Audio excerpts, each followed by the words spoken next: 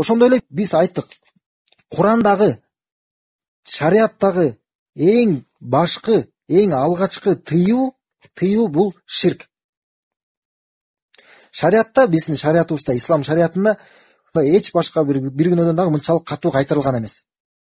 Э, мисалы фатиха деле.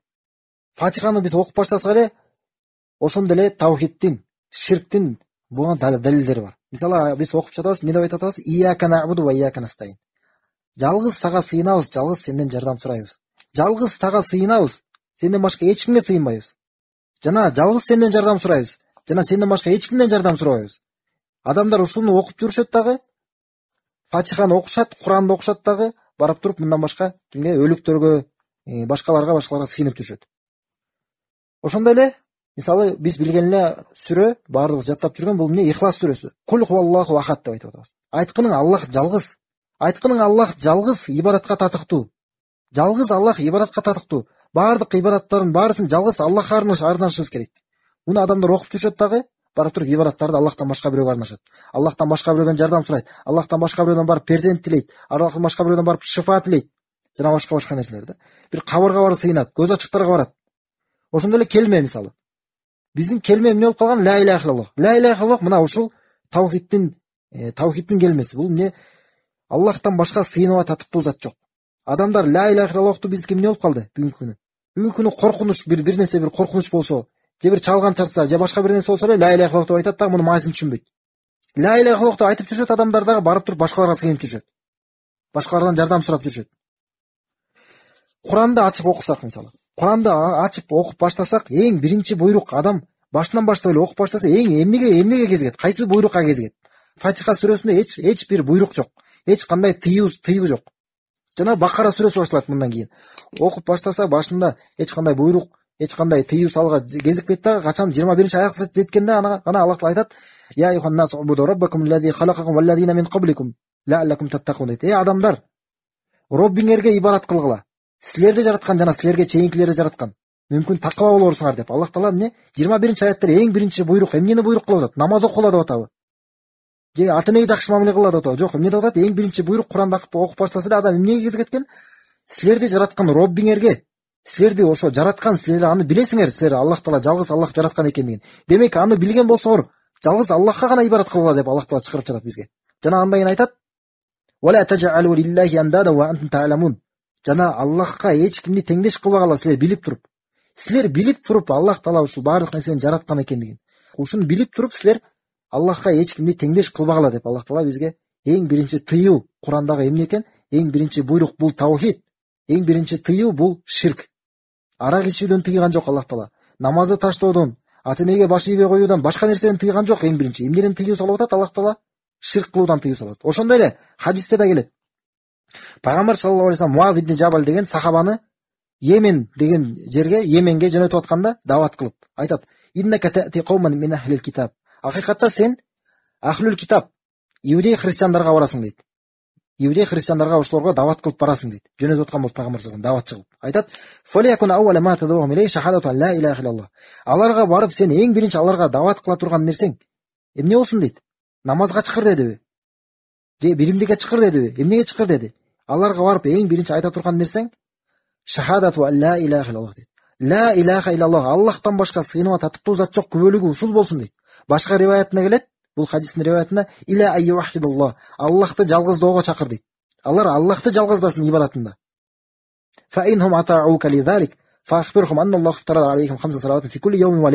эгерде сага эгерде баш ийишсе ошол нерсеге. Мына карасаңар ошол таухидти алар кабыл алып ширктен алыс болуп ошого моюн сунган болсо андан кийин гана аларга кабарлагың дейт. Аллах таала аларга күн түнү бир сутканын ичинде беш маал намазды аларга парз кылды. А бизде эмне болуп атат? Адамдарды исламга чакырып мусулмандар эмнеге чакырып жатышат? Таухидке чакырып атабы ширкти ташта деп чакырабы? Жок эмне дейт? Намаз оку дейт. Же башка башка нерселерди чакырат. Бул туура эмес. Пайгамбар саллаллаху алейхи вассалам өзү кырк жашында пайгамбар болгон. Кырк жашында пайгамбар болуп намазды качан буйруган намазды намазды качан буйруган он жылдан кийин гана буйруган эми ага чейин пайгамбар болуп элдин арасында элдерди адамдарды исламга чакырып жүрүп аларга эмнени буйрук кылып жүрдү пайгамбар саллаллаху алейхи эмнени хадисте келет эмне дейт кулу ла иляха иллаллах деп адамдарга айтып жүрчү пайгамбар кайрылып жүргөн ла иляха иллаллах деп айткыла ийгиликке жетишесиңер деп айткан аллахтан башка сыйынууга татыктуу зат жок жалгыз аллахка сыйынгыла ошондо гана силер ийгиликке жетишесиңер деп. Пайгамбар салам күнү түнү аларды ушул нерсеге гана чакырып жүргөн башка эч нерсеге чакырган эмес жана башка эч нерсени тыюу салган эмес эч нерсеге тыюу кылган эмес деме ширктен башка жалгыз гана ширктен аларды алдамдарды кайтарып жүргөн ошол себептүү дагы айша энебиз радиаллаху анха айткан эгерде исламдагы тыюу эң биринчи ал эң алгачкы тыюу салуу бул аракка боло турган болсо эч бир адам исламга келбейт эле дейт ал адамдар ошол убакыттагы ошол замандагы арабтар ушунчалык катуу ушуна аракка хамырга ушунчалык өтө жакын эле жана аларга карасар пайгамбар саллаллаху даанышмандыгы жана бул ислам дининин шариятынын бул кандай акылмандуулук бул чыныгы аллахтын дини. Эмнеден башталыш керек экен. Адамдарды чакыруу бул ширкти ташташтан башташ керек эгерде адамдарга биз исламды жеткизүүдө ширктен ширктен кайтаруудан баштаган болсок башка нерсенин баарысы жеңил болот. Адамдарга аракты таштоо башка нерсенин баарысын таштоо башка күнөөлөрдү таштоо намаз окуу мунун баарысы жеңил болот.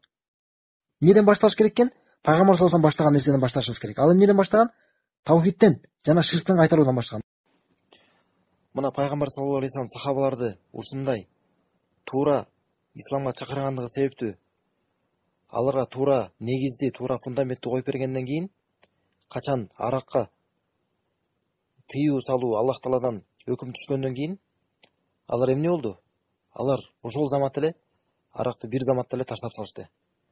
Ошо хадисте да келет качан алар чыгып туруп ошо бочкалар менен турган үйүндө элестетсеңер челек челектер менен ошо арактар турган экен. Бүгүнкү күнү канчалык арак ичкен адамда дагы үйүндө мындай бочка менен челек менен арак турбайт. Туурабы а булардыкы эмне болду?